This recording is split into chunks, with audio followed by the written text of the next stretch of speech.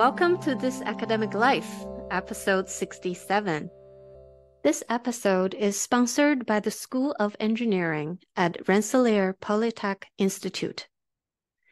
Did you know that RPI is the first university to have a quantum computer on the campus? It's IBM's System 1, Eagle processor with 127 qubits. Stay tuned for discoveries from RPI engineering using the quantum computer that will change the world. This is your host, Lucy Zhang. And I'm Pania Newell, another favorite host. So Kim can't join us today, and while she's not here, probably uh, easy for the two of us to kind of change it up a bit. You may feel like this is some up of uh, more casual episodes. Hopefully, this suits your taste.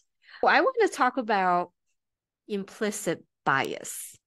The reason I was thinking about this is I went to a conference, and then at the conference, I met two of my junior colleagues, not from my same institution, just people who work in the same field, but they're relatively junior. They just got their tenure. So we were sitting there having breakfast, and what's our next step? They said, well, of course, getting full professor because they just got through tenure and maybe tenure for a couple of years by now. They asked me what it takes to become full. These two are young men, all right? So they're not really minority in any way. So for them to get tenure, as far as I know, was pretty straightforward. So I told them that when I went through this full professor promotion process. It was painful. And then they asked me why. I said, well, I was going through a lot between tenure to get full. I had two kids. Immediately after getting tenure, my son was born. And then another year later, year and a half, my daughter was born. And then I had a really bad health uh, problem. So another two years went by. So by this time, it's already four years after my tenure. And then by the time I restarted my research again, it was difficult. I felt like I went back to square one. It was way more difficult than when I was a assistant professor.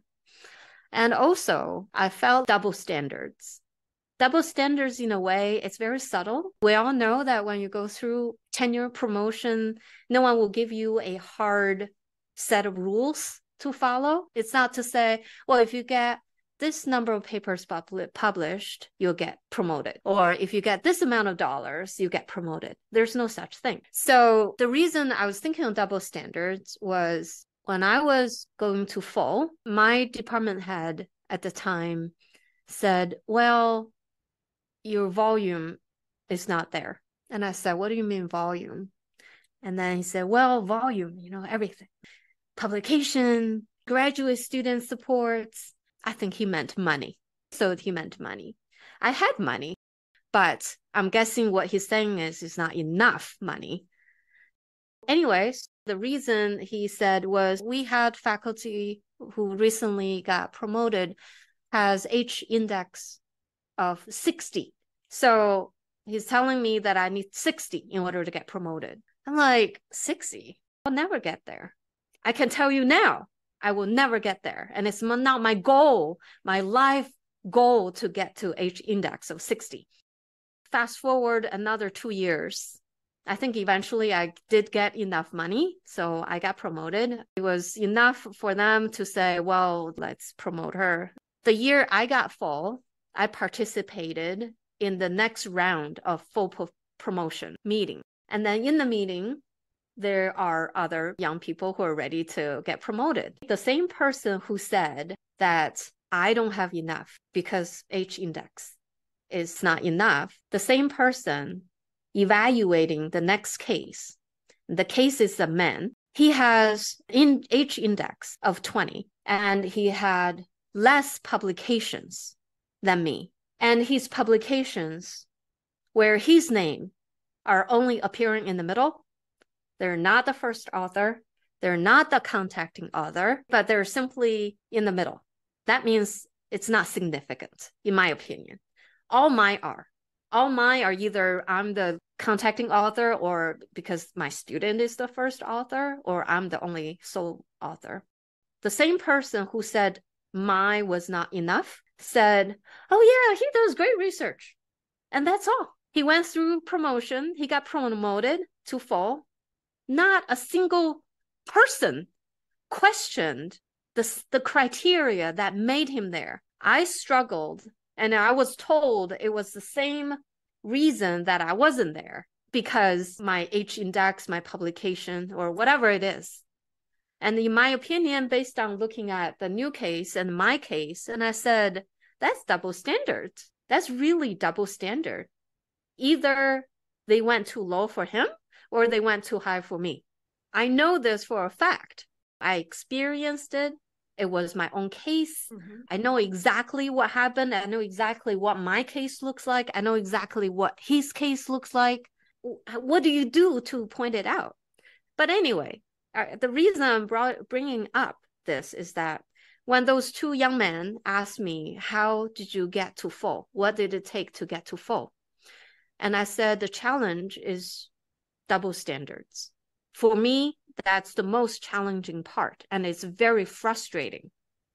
And then they said, Oh, really? It's usually the other way around. What we know is that they always lower standards for women going up promotion. That and I came home. I was so bothered by that reaction. I could not believe. I'm not saying anything bad about these young men. They are doing great. They're being honest. They're simply being honest. What I'm trying to say here is that you see that implicit bias that's being imposed upon us is not being viewed same or being perceived the same way as men or people who's never experienced this before. So it bothered me for days. I can tell you, I was so frustrated. I didn't have words to express myself about my feeling, just the feeling of, of being ignored and being wronged in so many ways. And I cannot go back to those two young men and say, you guys are wrong. It's not their experience. How would they know? But I, I told them it's my experience. That's really what happened. But right? They can receive it or not. This is not just your experience. I'm way more junior than you, and I had the same exact experience. I recently went through the, the tenure process. Not that it was, oh my God, they told me wait and delay or anything. But now I sit on the other side and I see people with two publications with their students getting tenure. The only difference that I see is male versus female. And then the same time, a female colleague who was supposed to go being told, oh, you don't have enough publication with your student. And these are the things that I've seen it with my own exact eye. And then you are saying that those two gentlemen that's what they are hearing because all these men, when they get tenure, they go and they talk about how easy they were on female faculty. I had a male colleague that you know him quite well telling me that I got a faculty position because I'm a woman right into my eyes looking at the Zoom. It was during the pandemic and told me. And I should have, I was so shocked I didn't say anything, but I, after that, I thought I should have said, so you are saying your mom could got my job without having any technical contribution in the field or anybody who's just being identified as a female. But at the time, I was so frozen, I couldn't have any reactions. And then also, another fear that I did never followed up with him because or at least respond in any way or shape or form because he's very senior and very well known in our field. So I think that it's both women and men contributing to this. Women, they are afraid of saying things, or when finally they overcome the shock, it's too late to go back. For whatever reason like you you couldn't even like you didn't respond. You were shocked and you were sad and you were hurt. And so i think that i think personally because i made this mistake i think you should write back to them. Tell them that well remember we had this conversation. I've been thinking about it and whatever like just went out. Just tell well, but the, the problem is that I, because, I have no blame on them. I mean, this is yes, but they need to. But this is your chance to tell tell your side of a story, and then also being a voice for many other women. Because if you don't say it, that's it's gonna be in their mindset. They are like, oh, Lucy was one case. Because we never talk, we are so shocked at the moment and we never discuss it. And they always think, many many my cousin she's a faculty and she was told the first nsf grant that she got it was the first year with three other female faculty like 800 900000 which is for nsf is huge. And then the male colleagues they told her that oh you guys got it because you are all women. And she was into tears because she thought we put so much effort writing this and we go to these panels. I've never seen in any panels they say let's separate the women from male and then just rank them and give them funding or let's favor them. But this is the thing that uh, these are the myths that it goes around and everybody thinks that women they are being favored. Yeah so this is exactly my point. My point is that how do they get this impression? They've never seen the case. I don't think they've seen a case. Or the people who was talking to your cousin have never seen the case, but they just, this is their entire belief that women are being favored in every situation at work. I mean, in our field. So I thought about this and I've actually talked to talked to my husband a little bit because he can see it more objectively. And when I told him, I said, uh, I want to express my frustration, not about the two men who, who heard my story, but I was mostly frustrated by this general impression of people who never experienced this before. How do they get there in the first place? And then how do they even believe me. Uh, of course, I know them well enough; they will believe this is my story. But they can say, "Well, it's only your story." They can say you're just one data point. Sure, you're fine, but I don't know about all the stuff because that's all in my uh, in my mind that's already shaped and formed, and you are different. He said, "I will never." be able to understand what you go through because I'm a white man. I will never experience it. What he figured was this there's so much implicit bias that's been taken place for so long, and we all know it. So that's exactly why there are double standards for promotion, some for men, for some for women. This is why it's implicit. I don't think those people who made those um, judgment on my case and another person's case, I don't think he does it intentionally. I really don't think he did men women didn't even occur to him. That's why it's implicit. Like it's in it's in him already. Like he doesn't even know he's doing it. But because there are so many implicit bias taking place people are trying to correct it using explicit bias. Explicit is whatever you can observe and people we talk about it all the time. We go out and have all these organizations or groups championing for women to be equal but for a lot of men, all they heard is, oh, they want more, they want more. And they're they've been given more because there are unique opportunities for women.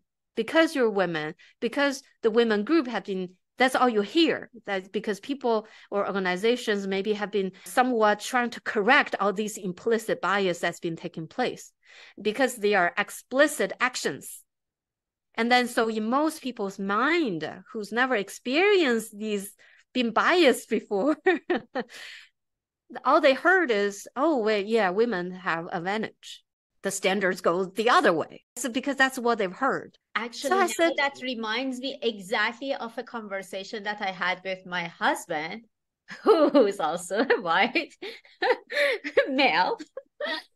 and uh, he told me you should always leave because he knows that like how I'm trying to promote women within our community, right? He said, you need to leave the women part out of it. You focus on their qualification. Say that they are doing this amazing work and you remove that part because some people they automatically exactly as what you said they they just hear that women thing. They don't see those other qualification. And that makes it weaker in your argument that mm-hmm. i want to nominate for example lucy for this and she's a highly qualified woman. And he said no you remove that. Mm-hmm. she's highly qualified in her field doing this this this this this and then he said that that's where we we need to he thinks that we should move because then people they don't automatically think oh women they are being favored mm-hmm, uh, mm-hmm. and that's what i've been trying to do based on hearing from him because he said like you hear that uh, exactly as you said from the media from everywhere they keep hearing they are bombarded by this and then they automatically think i don't know less quality or being mm-hmm. favored mm-hmm. or whatever that those other like women being not really truly equal mm-hmm, mm-hmm. after we kind of diagnosed where it all came from i felt much better it's not about those two men. It's just the, the reaction shocked me because I also know them so well. They also know me so well. That reaction really shocked me. And it never occurred to me that in general population think that. And I wouldn't be surprised if people behind me saying, oh, she only got to this place because she's a woman. And I never thought that about that before. But after that reaction, I'm thinking, I'm sure it happens. They just don't tell me in front of my face. so Unless you talk to that guy that I talked to, he told me right into my face. the same person told me that having children is not an excuse to not show up at conferences. Yep. So there are some that they tell you right into your face. Which is fine. It was a wake up call for me. That was the day that that instant I realized it's a very unforgiving place. Not just I'm not you know, not physical place, but like in certain career path or in certain working situations, it's a very unforgiving place because that's their expectation. They're like, I had kids too. I still can still come to conferences when my kids were little. I came back and I'm like, well, I, I can see it because he's never been pregnant with two kids before and he's never breastfed two failed, kids before. Has must, yeah, has must failed his biology class. Not, yeah, I see that. Distinguishing, like there are, it's not just having kids. There are many other things attached to that. Mm-hmm. So I can't change everybody. I honestly um not sure where things will go, but I think I just come to a realization. And once the rationale came to to light, I felt much easier, I guess, to be able to reason that kind of reaction. It was just so so shocking to me, so shocking, and it's nothing to be. It just never occurred to me. So if they, if they never lived it, they can't feel your pain. There's nothing you can say, nothing you can do to change their mind because it's not they, they don't know what it what it feels. I just remember that one episode we interviewed uh, Matt Pinchonette about the DEI. He was talking about his experience being a black person.